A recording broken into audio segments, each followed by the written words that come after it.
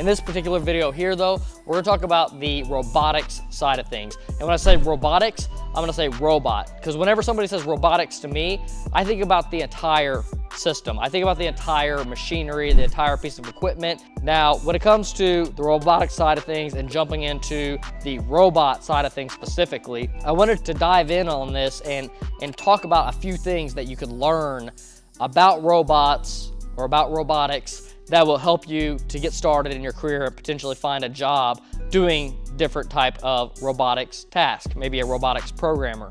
So the first thing to really get you to understand about robots, I would start to understand the different types of robot in the market and the different brands that are in the market. So I'm gonna go ahead and mention a few, but definitely do your own research. So there's brands of robot, which would be Fanuc, Yaskawa, Kuka, Universal Robot, Nachi, Kawasaki. Okay, I just listed off a few. If I didn't mention your robot name, I'm sorry.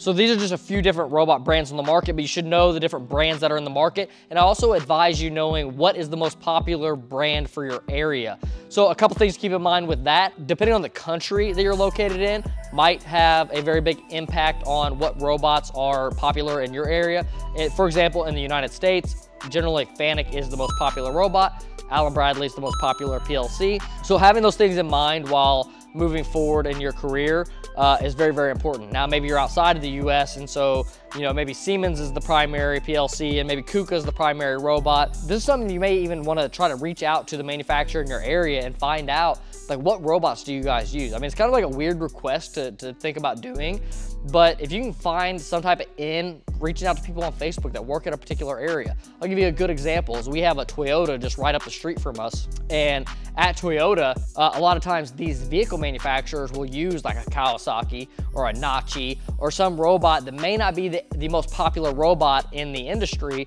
Uh, whenever, like I said, like Fanuc is one of the most popular in the United States, but whenever it comes to a, a Toyota, they default with this one robot brand, and this is the robot brand they use across pretty much their entire facility. Now, this is not necessarily always the case. Sometimes they have large pieces of equipment that are, you know, maybe most of it's Nachi, but this whole line over here is all Fanuc.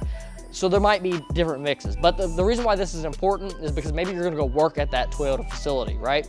And so it's better that you try to learn on a, a Nachi robot or something that they may have in their facility because uh, that's gonna set you up for success to, to get a position at that job. If you were to call them and say, I have Fanuc experience versus if you called them and said, I have Nachi experience, they're say, oh, you have Nachi experience, we have Nachi robots everywhere. So, you know, come on down, apply, you'll have the job. Another thing is knowing different types of robots. When it comes to different types of robots, there's robots that are known as six axis, SCARA robots, gantry robot, maybe a servo robot. So all these different robot types are different types of robots that you need to understand they exist, right? And understand what the difference between those robots. So maybe I could say a gantry robot, and then you have an understanding that that's like an XYZ coordinate style robot, and likely doesn't have articulation in the wrist. But so also knowing the different types of uh, robots that are on the market, and some of these robots, like a gantry robot, may not be what a traditional robot or a robot that you would think of as a, as a traditional robot. It's not like a Fanuc six-axis robot, which is very traditional and, and, probably have seen in some type of YouTube video or something along those lines. But a gantry robot is also still a robot, but maybe it's a servo-driven type of robot. Again, not considered exactly a robot, but being able to identify these things and under and identify like how the system works. If you can start really picking apart how systems work, that'll take you, take you a long way. So when it comes to something like a Fanuc robot, all the technology is integrated across all those axes, meaning all the motion. You, whenever you drive it, there's all kinds of algorithms that are calculating the uh, position of each motor to ensure the proper position at the at the TCP or the point of that robot. Whereas something like a gantry style robot, you might have to set up a lot of those things and you might have to train the system to understand that it is a three axis robot and this is the negative limit, this is the positive limit, and there's a lot of things that might go into that. And understanding that it's a, like a servo-based system where each servo is essentially isolated until you train it that these servos are all connected and can now do a coordinated motion or, or teach it like a TCP where now you can teach it a specific position. So when it comes to the robot side of things, I mean, I highly advise like if you're gonna do something in the robot side that it's it's programming. There's really not a lot that you can do. You can either do like mechanical maintenance or PMing or programming. There's not like a ton of other things. Like you could maybe find a, a job with some, with a company that's like some type of development person where you're working on like the back end of like a Fanuc robot and working on like special new tools and stuff that are in there, but that's gonna be like a very few people and a very small group of, of team members in the world that are that are doing something like that. There might be five, 10, maybe 15 guys in like the United States that are in that, that department that are uh, doing the back end development of, of like these, ro these robot systems. So it's more likely that you're gonna actually be programming these robots for a manufacturing type of operation like we do here at our company. So I highly advise that you start to understand programming, programming structures, and that also kind of takes us into some of the other things that you need to learn, right? When it comes to programming, there's the programming of the robot, but then you have to have understanding of some of the other, let's say, tools of the robot. And tools of the robot might be something like the I.O. So robot I.O., you might know what I.O. is, input, output. And so you may not know though that there's different types of I.O. in a robot. The robot I.O. is segregated into a couple different things. So you have your inputs, you have your outputs. Uh, depending on your brand, it might be called something different, but you have your group inputs, you have your group outputs. Uh, and so what's your difference between your, your inputs and your outputs, or your digital inputs and your digital outputs?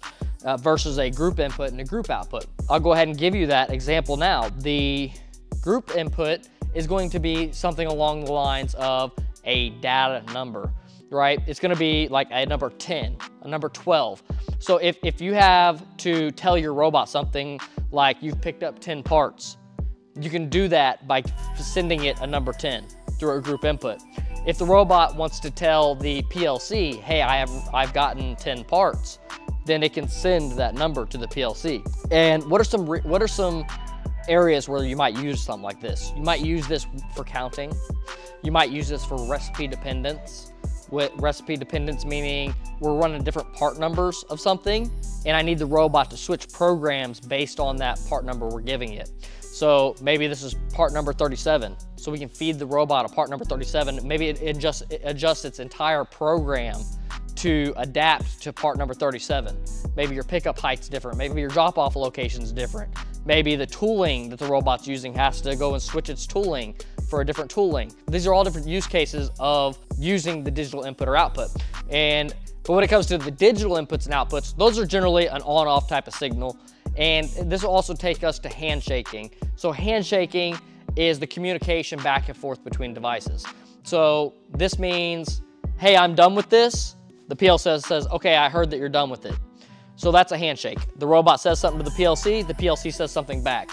So maybe on digital output 12, the robot is gonna say, okay, I'm done doing this thing, right? On digital input 12, the PLC will give back, okay, I heard you, done. So that there's a handshake. You told the PLC, the PLC then told you back. Now, actually the handshake could be one way. It could be just the digital output of the robot saying, I'm done. The input coming back is what we would call an acknowledgement. An acknowledgement meaning just that it verified that it happened. So in older systems, you used to have to do this to kind of verify the handshake. It's really something that's not absolutely needed now. Now we kind of just consider it an interlock, but it's, it's something that, that was really taken from older systems. And the reason, reason why it was utilized in older systems is because whenever you sent a signal, sometimes that signal wouldn't reach whatever it is you're trying to reach. So like, let's say for instance, I told this PLC I'm done. Maybe between the PLC and, and, and the robot, there's a, a, relay. Maybe that relay didn't switch. And so therefore the, the PLC never got the signal. Or maybe the IO point of the PLC went out and so it didn't read that signal. Or maybe the output of the robot went out so it didn't send the signal right? So back then you used to do the acknowledgement handshake where you sent the signal and then you'd wait to hear back from the PLC to say, I've heard the signal. We still utilize this, but again, the reason why it's not as important to use today is just because when it comes to the ethernet communication, if you lose ethernet communication, you generally lost your safety signal. At least in our systems you do, you lose your safety signal. You lose all other communication, which would then throw some other fault to the robot, causing it to just stop doing whatever its process is anyway. Really, that acknowledgement in today's age doesn't do anything in that functionality. If anything, it, helps catch programmer mistakes. And, and also, this is just an example of how to use inputs and outputs and how that communication works between the different devices. So know what those different digital or know what those different IOs are, learn about the IOs themselves. Uh, for one, another example is you have robot IO, which is the IO that's uh, used on the robot uh, and internally to the robot. So you have, uh, for example, a FANUC robot has an EE connector. On that EE connector, there's the RO signals. Okay, so you're able to fire the robot outputs uh, on that EE connector, which means anything that you put up here on the end of arm tooling, that's how you would actuate that. Again, now today we don't use the, the, the robot input and outputs as much because we've converted over to Ethernet base. So now most robots have an Ethernet cable running up the arm, and then whatever module we have up here is Ethernet based, and then all of our I.O. and everything's here on this module. Uh, one, because it just gives us a lot more I.O., and also because we just need Ethernet and we need power. That's the only thing we need up there on that module and we can swap that module out and it's two plug connectors done. So again, we're not using robot inputs and outputs as often anymore, but it's important to know because like a lot of older systems use that type of methodology and there might be some customers that say, we want it this way because that's how all our other robots are set up.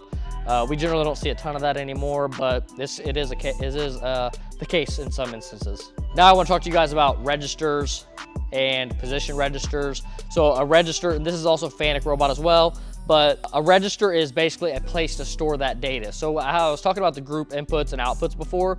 If you had a group input coming in with a number 10 coming into that, you would take that, that group input and set it equal to a register. So if you said group input one, set it equal to register one, this group input would then take the data, so number 10, and shove it into the register. So now register one is equal to 10. And then in your program, you can utilize that that says like register one, uh, if register one is equal to 10, or if, yeah, if register one is equal to 10, do this thing. If it's not equal to 10, do this other thing right? And so you're able to utilize those different registers, different register numbers in your program to make different decisions within the program. You can also utilize a register and have to utilize a register for math. So like if I wanted to increment something, I might say, uh, maybe every time we scan in the program or every time we do a function that we, we add one. So you could say register, uh, in your program, it would say register one is equal to register one plus one. So this gives you another tool to utilize in your program. Then there's also program instructions that you need to learn. So uh, FANUC Robot, there's an instruction button on one of your F keys. You need to look through those instructions, understand what those different instructions do. You have things like if statements, you have if, if then else statements now. Uh, so there's a bunch of different types of if, if statements. My favorite if statement is like if and then like the parentheses, so where you can like build out your own if statement. But there's some uh, a couple other ones that are very important, like a call, which means you're gonna call another program. There's jump and label. So uh, jump is like jump to a label. So, you know, it, say for instance, when, you, when you're doing like a loop in a program, if it's like the main loop, then, you know, maybe you have like 100 at the bottom, or you have a jump label uh, 10 at the bottom and you have label 10 at the top. So the program will run through all the way to the bottom and then it'll say jump to label 10, which is back at the top.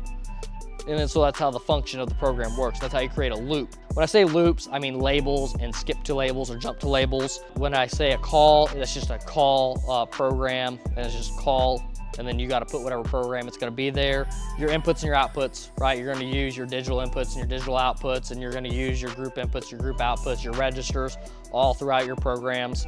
Uh, so, you know, have a good understanding of those things, and that's going to really take you a long way in being able to uh, take your programming skills to the next level. If you can get your hands on a programming simulation software. RoboGuide offers a 30-day free trial. So if you can get your hands on that and get that 30-day free trial, then you'll be able to learn a little bit of stuff. your college might even have some uh, special offer with FANUC themselves or one of the other uh, robot makers with, uh, I believe uh, Yaskawa has RoboSim and they have a simulation software. So they might offer some special college package where you can get that free or at little cost and be able to take that home and, and utilize that simulation software. That's the exact same as being able to program on the real world robot. So that's probably one of the best things that you can do if you have that capability of doing that. Again, you should be able to get access to the 30 day free trial. Maybe you have to call a Fanuc sales rep or something like that, but you should be able to get that free trial and you know, you put that free trial on as many computers as you want. So if you don't just buy a bunch of computers, you can keep keep extending that license. If not, it's like a couple thousand dollars a year, which is super expensive, or like a 10,000 for a one-time license. So it is a very, very expensive thing if you're actually gonna pay for it and, it, and there's not stuff like college sponsorship. But again, learn some of these programming things. If you have any other particular questions, I can make some like programming videos, but it's just super time consuming for me and I don't really have the time to be able to sit and open up RoboGuide and show you guys exact programming methods but maybe it's something I'll do. Maybe it's something that I'll have the, time, the ability to do here in the near future. Thank you guys for watching this one. Hopefully this was insightful and make sure to hit the subscribe button for more content like this or check out the manufacturing come up where we talk about manufacturing careers and how to navigate your career in the manufacturing space. Thank you guys again and we'll catch you in the next one.